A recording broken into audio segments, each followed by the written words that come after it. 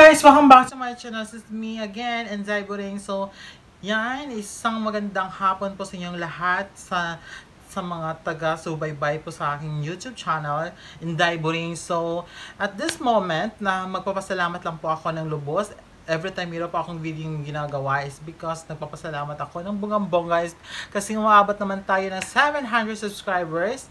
Last time kasi nung nag-vlog ako ng isang video, uh, umabot na po siya ng 500. So ngayon, aabot na po ng bonggang-bongga sa 700. So yan, munti, munti ko na po siyang gaga, uh, uh, uh, kumbaga makaab, makaabot sa TikTok ng mundo, which is yung 1,000 subscribers. And up guys, patuloy nyo, nyo lang po akong susuportahan sa aking YouTube channel. So, in this video, yung gagawa, yung gagawin ko ng video today is just to, uh, para sa mga new, new YouTuber, is because uh, gagawa ako ng vlog ng ganito, is para malaman naman po ng karamihan sa ating mga, lalo-lalo na sa mga baguhan, yung, uh, yung community guidelines ni YouTube. Kung magka, uh, paano ba natin maiwasan yon So, sakaling hindi nyo pa napanood, hindi nyo pa nabasa, please watch until the end. For my YouTube channel, Before that, of course, just subscribe my channel in Daiburing. No other than and just click my yeah, notification bell para magkaroon po tayo ng daily update every day, every time meron po akong i-upload na video sa sa aking YouTube channel. So, yan guys. Um, yan, before ako mag-start, uh, nais ko lang sanang pasalamatan kayo ng bonggang-bongga kasi nga 'di ba uh, binigyan niyo ako ng isang malaking smile kasi nakaabot tayo ng 700 subscribers. So thank you so much God.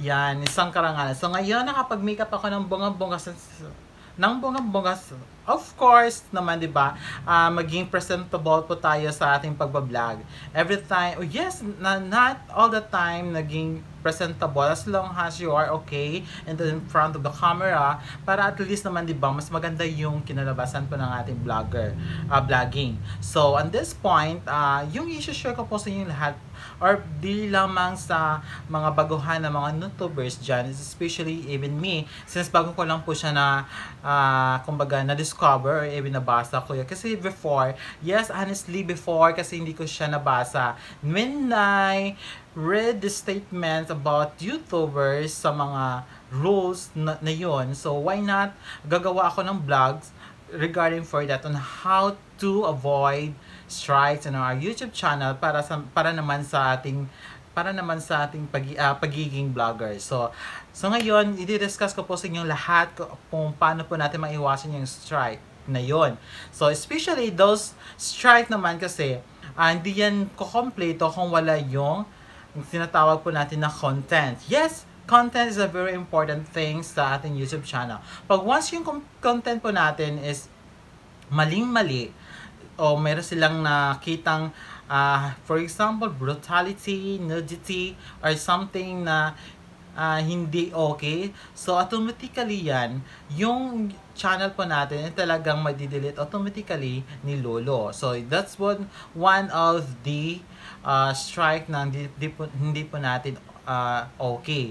And aside for that, 'di ba, meron naman pong mga content na okay, pero at the end hindi siya okay. So, talagang 'yan ang pinag-iwasan po natin kasi nga yung sa content na 'yon, talagang very strict si Lolo That's why uh, the, we created this one because gusto po natin malalaman or gusto po natin maibahagi sa sa buong mundo yung ginagawa po natin every day, even a simple way.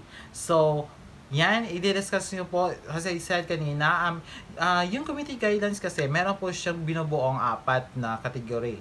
Which is yung sinasabi ko kanina is yung content.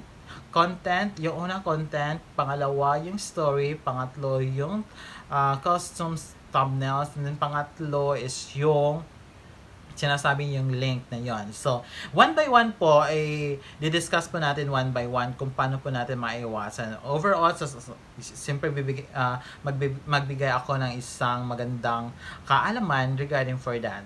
So, yung first, as I said kanina, na-discuss ko siya ng RV, uh, na-discuss ko ng few minutes. So, yung ano kasi, yung content kasi is very important as I said. Kapag once may mali doon, wala na. Talagang at uh, talagang si Lolo na yon talagang mag-undergo na po siya ng email from us na na-violate po yung ginawa po natin sa kanya. At that point, so dapat be careful lang po tayo sa ating gagawin or sa pag-upload. And then guys, yung sa customized thumbnails, dapat yung custom, customized thumbnails po natin ginagawa, dapat very visible po siya. Yes, just to attract, you know, our, ano, actually hindi naman siya, ano, hindi naman siya naging uh, stricto sa ating committee guidelines, but of course, it includes of that. And then, yung sa links, yes, yung sa links, yan, marami, marami po sa ating lahat, mara, um, marami pong gumagawa niyan sa pagre-re-uploading ng mga videos sa ating channel. Uh, didn't know about the video itself na meron pong may nakalagay doon na mga watermarks. Once na re-upload po natin yan, tapos may mga watermarks, is talagang magka-copyright po tayo na. So, is another one nga, uh, that's the reason why magkaroon po tayo ng isang strike. And yes, of course, uh, kailangan po natin yan sa ating vlog, pagbablog is because nga, 'di ba? Uh, talagang iiwasan po natin yan. Hindi lamang yung sa pagiging, uh, ay, nag, nag-upload ako ng videos because para lang sa pangtagtag ng views. No, it's not hindi hindi po ganyan. So, overall, yung sinasabi po natin na ano, uh, kasi mara, marami marami or karamihan po sa atin hindi alam kung paano po natin maiwasan 'yon. Kasi nga 'di ba, yung is usually atat na atat. So, kailangan wag naman natin na atatin yung sarili natin, mag-upload ng video just just to cope up lang yung sinasabi natin na 4,000 hours. So, e, even myself, is not bad idea naman po, di ba, na mag-aatat ka. Pero, just to make sure lang na yung yung pag-upload po natin dapat maging uh, maging okay din. Hindi yung ah nag-upload ako ng bonggang-bongga is because wala na. Uh, okay na yan, nag, ano ako, nag-upload pa ako. Hindi po yan. So, just to make sure din, guys, once nag-upload, i-review mo muna natin, uh, i-review muna natin yung ating video, saka po natin i-upload sa ating channel. Once na okay lahat, so walang problema. So, 'di ba? So, just to make sure lang guys, yung pagiging ano po natin, wag po natin kaligtaan na maging maingat po sa ating pagbablog kasi nga uh, may mga possibility may na ano tayo, kumbaga, excuse me, may, may, meron tayong nakalap or meron tayong na-upload na hindi maganda. So, ma, hindi maganda yung sa pagiging vlog po natin. Diyan, yung sinasabi ko na apat, yung sa community guidelines, dapat naging na maiwasan. Kasi nga, pag once na ano uh, once naka uh, meron po tayong strikes na sinasabi ng first strike pa lamang, yung account po natin is talagang mag-freeze po siya mapa-freezing po siya ng one week. So, hindi po tayo makapag-upload, hindi po tayo makapag... Although makapag-vlog pa tayo, pero hindi po yun on the spot na makapag-upload po tayo ng ating video. Pangalawang strike na binigay ni, ni Lulu sa atin is yung mas... Uh, although first, okay, okay, acceptable na, pero pag second strike na kasi, eh talagang very alarming na kasi siya is because yung second strike kasi, two weeks freezing sa ating ano sa ating YouTube channel. Yan, as I said, so yung una first, yung pangalawa is 2 weeks na. So how come uh, yung sa first pa lang na, na nagkaroon po tayo ng first right, pagka pangalawa hindi ka aware. So so so even me ma, even me nabaguhan ako yes, naka-receive ako ng mga strike na yan, but na, nagiging maingat ako kasi nga, 'di ba, sa pinaghirapan po natin sa ating YouTube channel, pinagpuyatan po natin ng madaling araw para i-edit lang yan tapos i-upload lang natin. Tapos pag once naka-receive tayo ng isang strike or isang email from YouTube management, talagang nakakasira po ng mood sa atin. Ay, bakit ko ito ginawa? Eh, alam mo naman kung ano pong karapat, uh, alam mo naman kung ano ang ibig sabihin ng strike na yon. Talagang matindi po yung, uh, yung violation natin. So, after that, pag hindi nyo pa talagang okay lang, nagpapatuloy po tayo sa pag-upload ng ating mga video which is nagka-copyright na although lahat ng mga video po natin is copyrighted na eh yan, nagsis magsisimula na po uh, magdi-decision na po si YouTube management na mag, yung YouTube channel nyo po ay talagang terminated. So that's the reason why uh, atong uh, ating uh, channel ay na-terminate is because hindi nyo, hindi nyo pina-follow yung instruction ni YouTube. So, yan guys, sana po magkaroon po tayo ng kaalaman kaalaman sa aking pag pag-vlog sa pag sa pagiging sinishare ko to kasi nga 'di ba is uh, isang awareness naman po guys sa mga lalo na sa mga baguhan even sa mga di mabaguhan diyan 'di ba although nabasa naman nila lahat pero of course maging maingat naman tayo sa lahat especially yan uh, tinan, uh, of course hindi po natin sinasabi na, ah, bakit ginagawa ko yan? Kasi nga, ay, alam ko naman yung community guidelines, bakit isi-share ko pa sa isang vlog? No, it's, a, uh, it's my way, it's my opinion na uh, I mean to show you na or to share with you guys just to remind you lang lang naman na sana maging maingat po tayo sa pag-upload po ng ating video kasi nga once nga na ano natin uh, na-upload po yung video po natin yes, expectedly, talaga mamonetize naman siya as long as marami tayong mga subscribers. So, yan, wag, wag po nating sayangin yung, uh, yung ginagawa po natin everyday, yung pagpupuyat, kasi nga, nakakatulong naman po yung pagiging maingat po natin. Yan guys. So, yan mga kaboring. Sana guys, meron po kayong matutunan sa akin. is because, uh, hindi naman po sa ganun na, ay, naging shellfish. Shellfish ba ako sa, pag, sa ganyang ano, paraan? Hindi naman.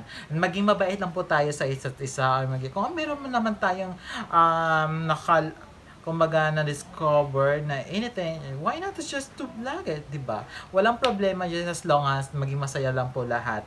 So, anyway, so that's for today. As I said, for your reminders, please ma- maging maingat lang po tayo sa pag-upload ng ating video para maiwasan po yung pagiging strike po natin. So, it's the big, big, big uh, problem sa mga ating mga no-tuber andyan na hindi nakaintindi ano po ba ang yung community guidelines. Yes, uh, very important talaga to guys. Kasi nga uh, 'di ba makikita niyo naman sa channel niyo sa comment uh, sa comment below sa ating channel or sa ating video may naka uh, may nakalagay din na community guidelines. So yan i-click niyo lang yan kung gusto niyo malaman. Actually uh, nabasa ko na din siya. That's why I share this with you guys na uh, maging maingat naman tayo lagi. For sure, maging maingat naman tayo, lalo-lalo na sa mga uh, nagre-react. Kasi mayroon akong nabasa or mayroon akong na-encounter na isang YouTuber na baguhan na, o oh, siguro yung subscribers niya is nasa 500 na. So, ma- actually, malaki-malaki na yun siya. And then, mas malapit na po siya sa tuktok ng kabukiran ng ng Mount Apo. So, biglang, ay na-terminate yung account is because nga, siguro niya alam yung karakala, uh, tawag nun, uh, yung negotiation, kumbaga. Wait, negotiation?